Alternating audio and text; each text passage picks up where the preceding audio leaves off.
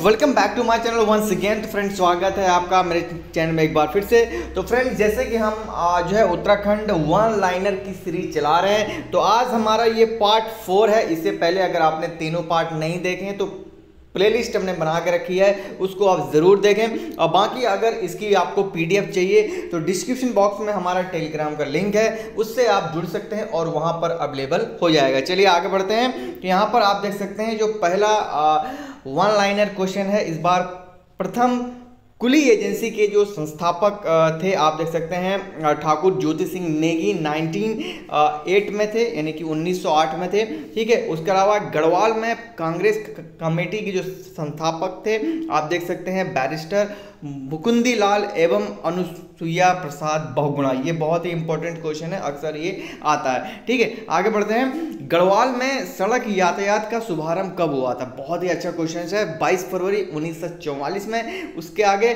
कांग्रेस की सदस्यता ग्रहण करने वाले प्रथम गढ़वाली कौन थे? 1915 में सकलानंद डोभाल। ठीक है, आगे बढ़ते हैं। क्वेश्चन नंबर नेक्स्ट है कि वीर चंद सिंह गढ़वाली की पत्नी का क्या नाम था?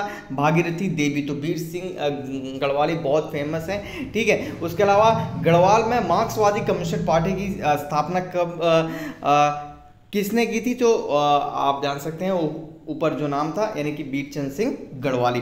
ठीक है, अब आते हैं नेक्स्ट में उत्तराखंड राज्य के भौगोलिक विभाजन से रिलेटेड जो यहाँ पर वन लाइनर आते हैं, बहुत इंपॉर्टेंट आते हैं। तो यहाँ पर आप देख सकते हैं, उत्तराखंड राज्य को आठ भौगोलिक क्षेत्रों में बांटा गया है। एक एक के बारे में डिटेल में इस हम जो हमारी उत्तराखंड वन लाइनर सीरीज़ चल रही है, उसके बारे में बात करेंगे।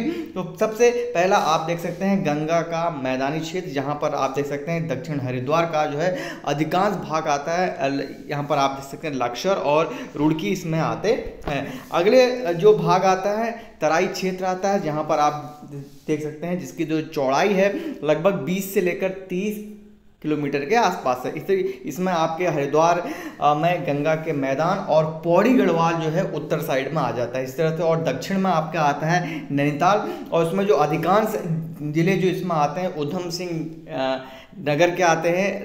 लाइक इसमें आप देख सकते हैं औरंगाबाद, ज्वालापुर, सितारगंज, बाजपुर, काशीपुर, खटीमा, जहाँ से हमारे जो चीफ मिनिस्टर जी भी हैं, रुद्रपुर पाताल तोड़ कुएँ भी इसी में आते हैं। यानी कि जो तराई क्षेत्र है, इसमें आपके ये वाले एरियाज़ आते हैं। अब इसमें एक और भी आता है, आप देख सकते हैं, हरियाणा, पश्चिम बंगाल और बिहार राज्य के लोग भी यहाँ बसे हैं। बिल्कुल बहुत इन्होंने सटीक बात की कि आप देख सकते हैं, इन एरियाओं में अक्सर आपको यूपी बिहार, हरियाणा और पश्चिम बंगाल के जो है मैक्सिमम जो है यहाँ पर पाए जाएँगे, जो आबादी है। लाइक क्योंकि यहाँ पर सिडकुल एरिया है, हरिद्वार और यहाँ पर जो उधम सिंह में। तो यहाँ पर जो है काफ़ी बाहरी लोग आए हुए in spite of other districts के यानी कि उत्तराखंड से ठीक है? आगे बढ़ते हैं। नेक्स्ट जो आता है भावर क्षेत्र यानी कि जैसे तराई भावर भी कहते हैं ठीक है? यहाँ पर आप देख सकते हैं तराई के तुरंत उत्तर में शिवालिक क्रम की पहाड़ियों की जो आ, आती है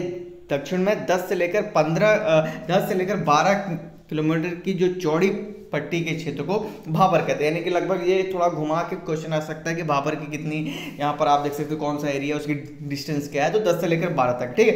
इस तरह से पूर्व में चंपावत का जो है देहरादून आ जाता है, ठीक है? अब नेक्स्ट में आप देख सकते हैं शिवालिक क्षेत्र, यहाँ पर आप देख सकते हैं भाबर क्षेत्र के तुरंत उत्तर में स्थित पहाड़ियों को शिवालिक जो है क्षेत्र कहा जाता है, ठीक है? अब आगे बढ़ते हैं नेक्स्ट क्वेश्चन की तरफ़, यानी कि जो नेक्स्ट हमारे एम हैं एमसीक्यू नहीं, यहाँ पर वन लाइनर है। इससे पहले आप चैनल पे नए हैं तो लाइक कमेंट एंड सब्सक्राइब ज़रूर करें। बाकी आप हमें टेलीग्राम से जुड़ सकते हैं। इस वन लाइनर की, ये जो चौथी पार्ट है, इसमें जितने भी आपको क्वेश्चन दिखाई दे रहे हैं, पूरी पीडीएफ आपको डाउनलोड मिल जाएगी डिस्क्रिप्शन बॉक्स में। ठीक है? आगे बढ़ते हैं कि इसे वह हिमालय या हिमालय का पाद प्रदेश भी कहते हैं इसे मैनाक भी कहा जाता है। ठीक है, या फिर कहते हैं, और इसके जो दक्षिण में आप देख सकते हैं, देहरादून, टिहरी, गढ़वाल, अल्मोड़ा और चंपावत के राज्य चंपावत के डिस्ट्रिक्ट्स आपको जो है, मिलेंगे। इसी तरह से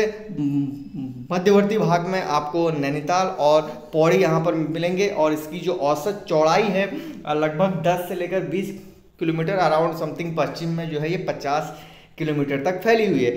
और इस पर्वत श्रृंखला की जो चोटियों की ऊंचाई है वो आप देख सकते हैं। बहुत इंटरेस्टिंग है। 700 से लेकर 1200 मीटर के बीच में है। ये बहुत ही ऐसा अच्छा इंटरेस्टिंग पॉइंट है। इसको आप नोट ज़रूर कर लें क्योंकि अक्सर एग्ज़ाम में इस तरह के टेढ़े मेढ़े क्वेश्चन आते हैं।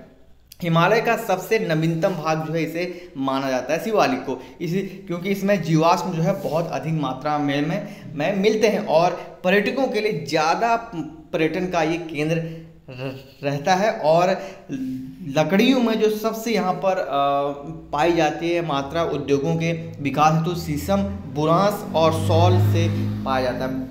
बुरांस के बारे में हमने ऑलरेडी हमारे जो एम वन लाइनर के पार्ट वन में भी हमने आपको बताया है डिटेल से ज़रूर देखें। और सॉल तो बहुत ही फ़ेमस है। ये तो मतलब उत्तराखंड में अक्सर पाया जाता है, ठीक है? अब बात आते हैं पाँचवें क्षेत्र में, यानी कि जो हमारा यहाँ से उत्तराखंड का राज्य का जो भौगोलिक के अलग अलग आठ भागों में बांटा गया था। हम चलते हैं पाँचवें भाग की तरफ़। तो यहाँ पर आपका देख सकते हैं, दून द्वार का यहाँ पर क्षेत्र आता है, जहाँ पर आपके शिवालिक और मध्य हिमालय के बीच में ये पाया जाता है, ठीक है? इसकी चौड़ाई चौबीस से लेकर बत्तीस किलोमीटर के बीच है और साढ़े तीन सौ से लेकर सात सौ पचास मीटर तक की इसकी ऊंचाई, चौरस व छत्तीस घाटियों के पश्चिम व मध्य भाग में, दून तथा पूर्व भाग में द्वार इसको कहते हैं। और लगभग पचहत्तर किलोमीटर लंबा व 24 से 32 किलोमीटर चौड़ा देहरादून जो है सबसे प्रसिद्ध है। तो देहरादून, आप ऐसे कैपिटल के तौर पर भी आप कह सकते हैं। कहना क्या है, वो तो है ही है उसको, अगर आप मान भी लें, ठीक है? है ही है, कैपिटल।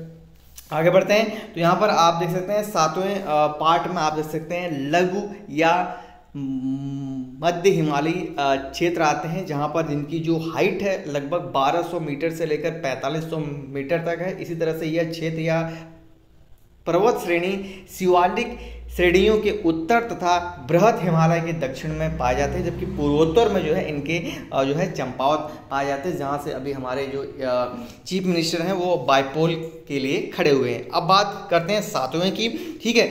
यहाँ पर आप देख सकते हैं सातवें में बृहत या उच्च हिमालयी क्षेत्र पाए जाते हैं। यह क्षेत्र लघु हिमालय के उत्तर और ट्रांस हिमालय क्षेत्र के दक्षिण में पाए जाते हैं। इस तरह से सबसे ऊँची चोटियों वाले इस पर्वत को बृहत या उच्च या आंतरिक या फिर महा या मुख्य हिमालय भी कहा जाता है। और इसमें प्राचीन जो हमारे ग्रंथ पाए जाते हैं, उस, उसमें इसे हिमाद्री या हिमाच्छादित होने के कारण कहा गया है। ठीक है, इसके अलावा इसकी जो ऊंचाई है, आप देख सकते हैं, लगभग 50 से लेकर 30 किलोमीटर तक और जो डिस्टेंस है उसके अलावा इसमें जो ऊंचाई है, आप देख सकते हैं 4500 से लेकर 7816 जो है नंदा देवी तक इसकी जो है डिस्टेंस है, यानी कि ऊंचाई है। तो फ्रेंड्स ये रही आज की वन लाइनर पार्ट फोर जहाँ पर हमने आपको उत्तराखंड राज्य के भौगोलिक विभाजन के बारे में बताया, हालाँकि यहाँ पर आठ अलग अलग भागों में विभाजन हुआ है, लेकिन हमने इस वीडियो में आपको केवल सात पार्ट्स के बारे में बताया। आठवां जो पार्ट है जो हमारी वन लाइनर सीरीज़ है, पाँचवें पार्ट में हम लेके आएँगे, तब तक आप चारों पार्टों को एंजॉय करें।